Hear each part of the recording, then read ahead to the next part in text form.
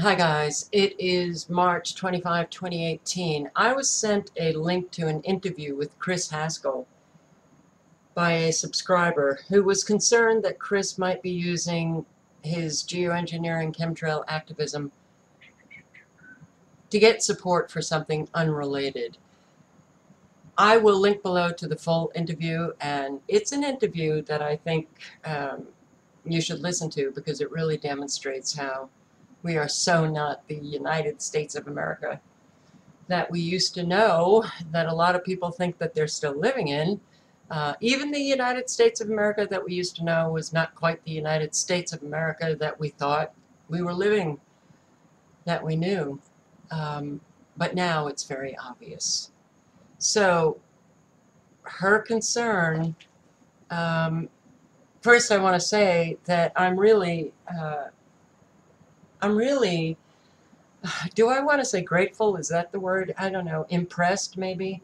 When people hear something from somebody else and what they hear sets off a red flag for them, but before they make publicly their presumption that they think is fact, which hurts people, um, you check it out.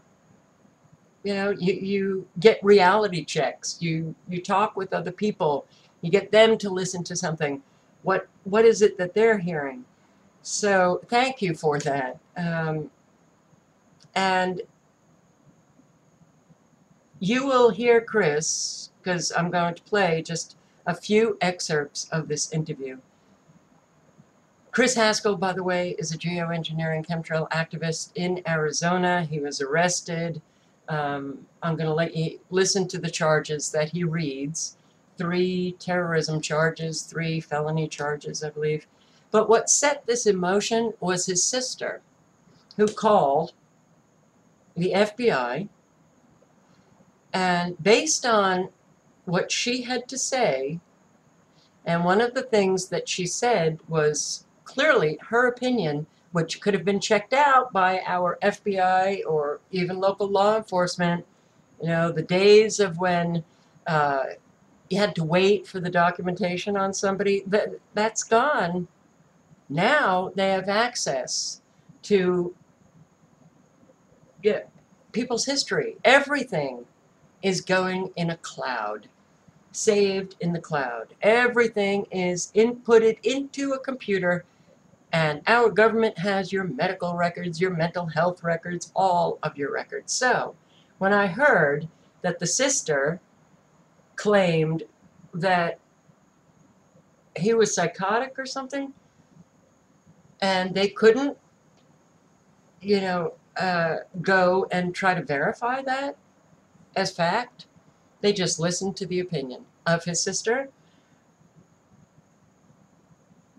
Today, we live in a world where if somebody doesn't like you, they can call the police, they can get you locked up in a psychiatric ward or arrested.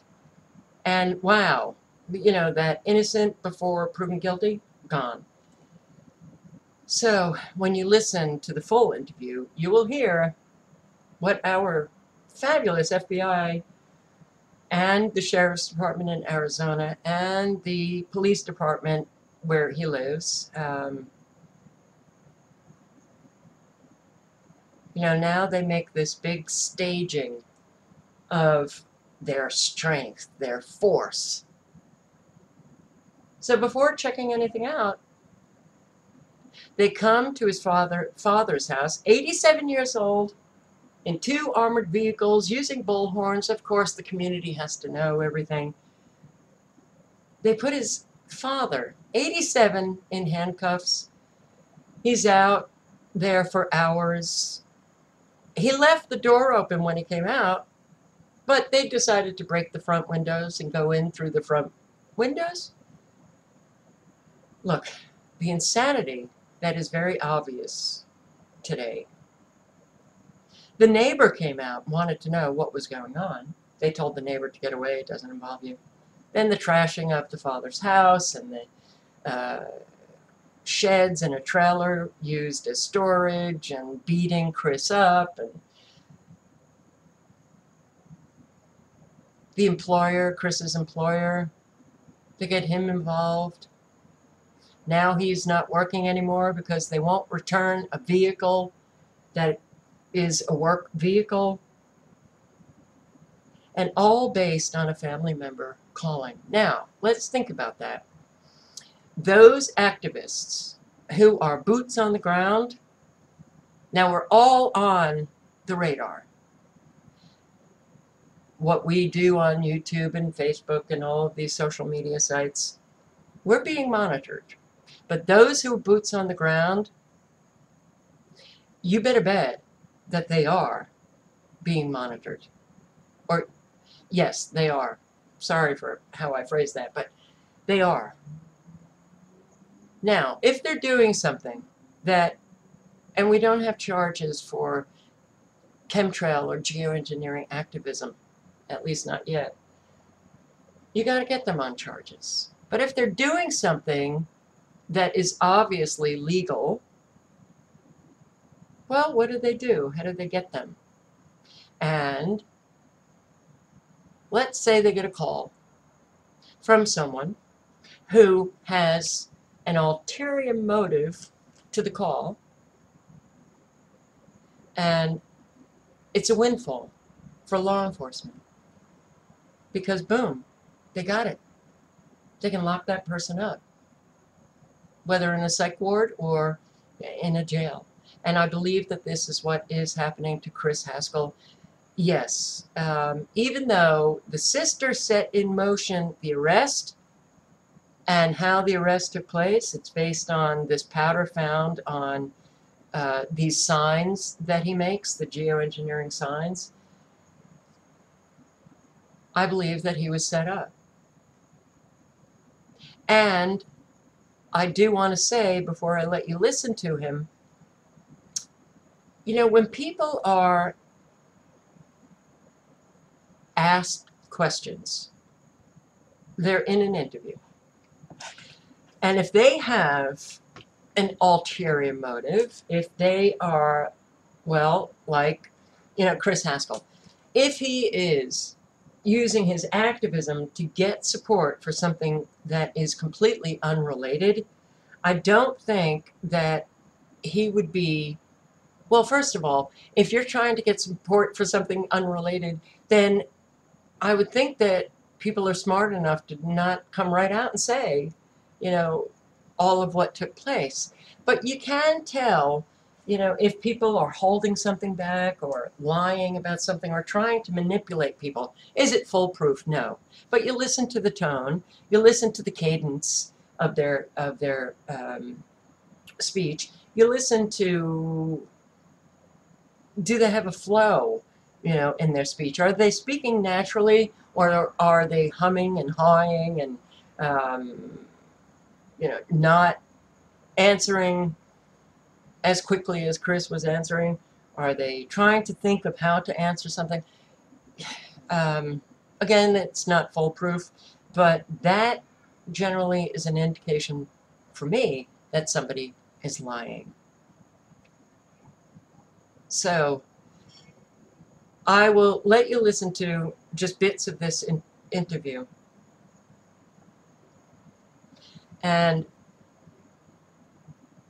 then I'll get back to you. But it is, I wish we could all come together and stop this fighting and speculating and throwing it out as a fact and making presumptions about people that we don't know, um,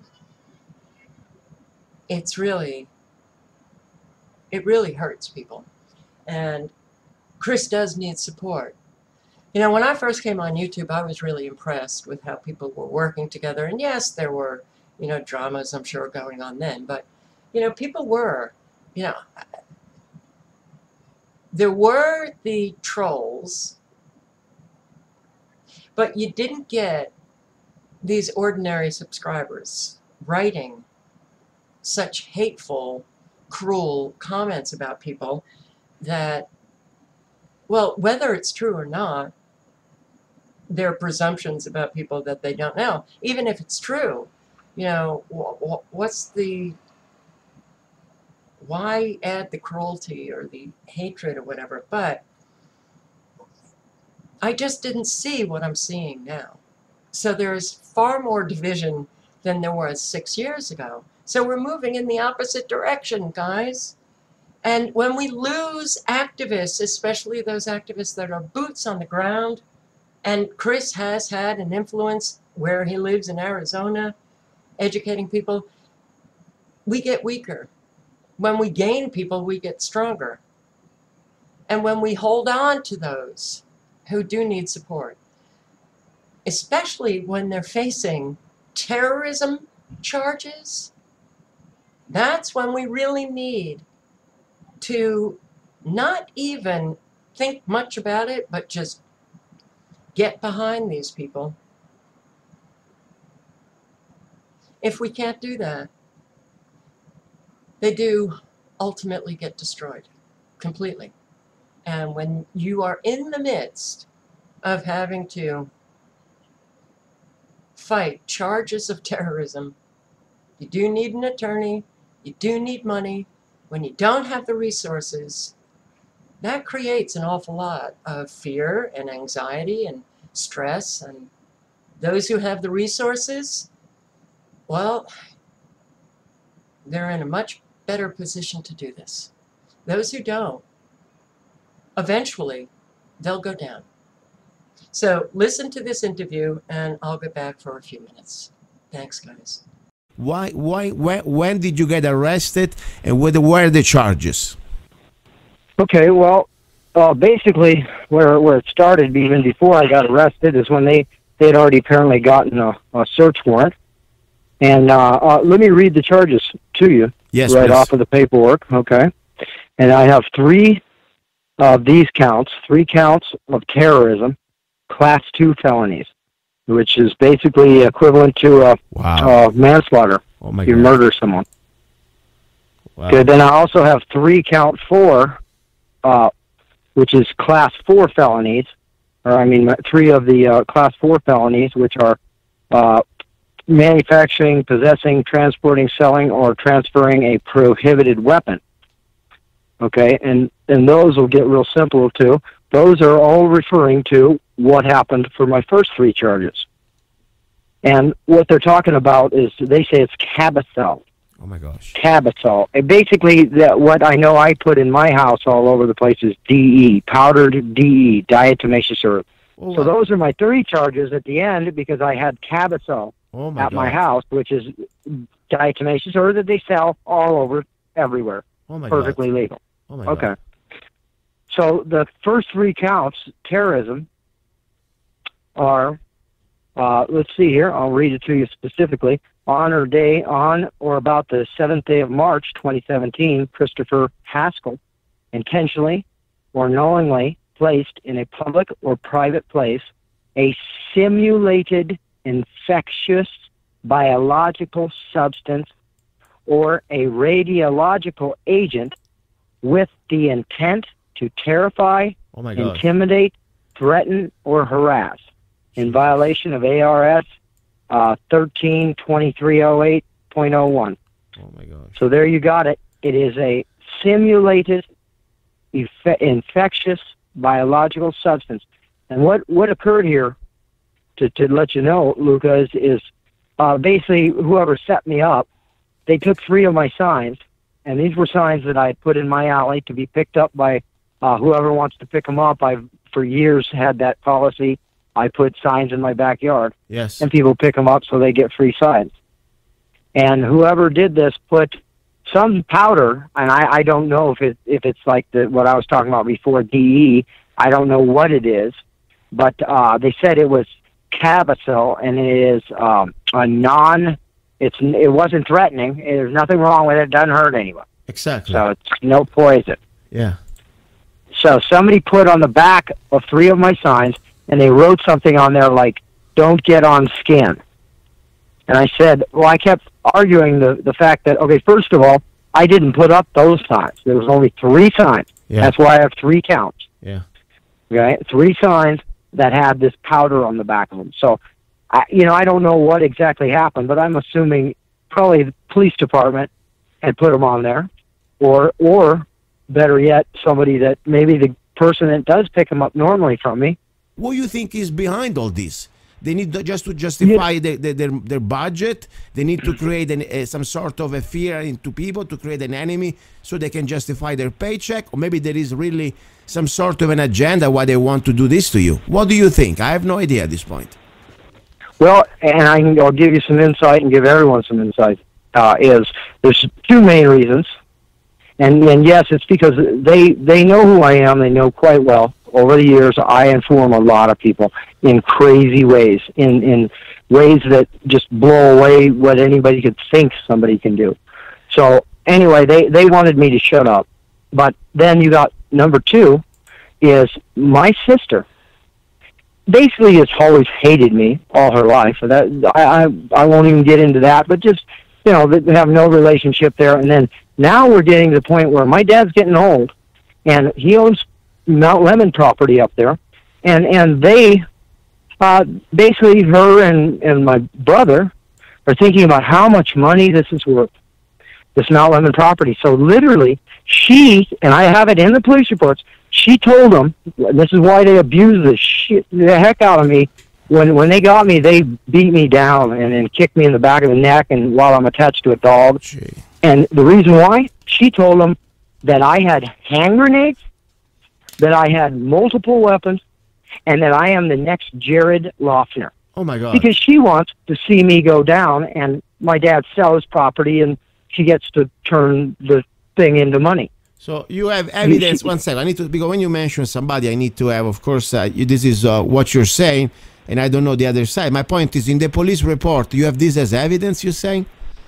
Yeah, uh, yeah. The evidence that she she said that I am I am crazy, that I am I'm psychotic, Wow. and that's all she has. She's just her opinion. Okay, so the sister says that he's psychotic, which the FBI and local law enforcement could have checked out. Uh, they have access to those documents, and they could have checked out his history. They didn't do that. They do a destructive search and don't don't have uh, any evidence that he had hand grenades or the weapons that his sister had alleged he had. But instead, they decide to get him on powder on the geoengineering signs. It's clear to me that they wanted to get him on something and that he was set up. Now, why did they want to get him? probably because he's a geoengineering chemtrail activist out on uh, the streets yelling loudly. So, yes, this man absolutely does need support, in my opinion, and I hope, I hope that he gets it. And before I end, I just want to say there's an awful lot of people who cannot believe that a sister could do that. Well, you just don't come from those types of families. A sister could absolutely do that. And unfortunately, there's an awful lot of people who have family members and they're looking at, you know, the near end of their parents' life and they do things to make sure that they will be getting the money from that parent. And there are siblings who do the kinds of things to destroy other siblings' uh, life, literally, or they will speak badly you know, to the parent, trying to um, influence how the parent sees their sibling, all for money. Money is a, I'm sorry, we speak values, we live the value of money. And when you do have these siblings who so don't care about you, they can send your life into a nightmare. Trust me. I know. Because I'm living it. So, please, you know, that's my take on that interview and what Chris has said and what set the motion, uh, what set the arrest into motion. There's always, whatever happens in life, there's always somebody who's setting something in motion. And you really do have to think, boy, truth, it is so demanding because it requires a tremendous amount of energy to look into as many details as we can find. And then we might not even be able to get all of the details because the FBI, local law enforcement, the sheriff's department in Arizona, they're not going to come out and say, we wanted to get him. And we use this as an excuse. We got the arrest due to his sister calling. We couldn't find anything that substantiated the sister's claims, so we're going to stick some powder on the geoengineering signs and get them on terrorism. Nobody should have to live this. No one. This should just so not happen to anybody, but it happens. Details are different, but it does happen to a lot of people. Hope you have a good night. Ciao, guys.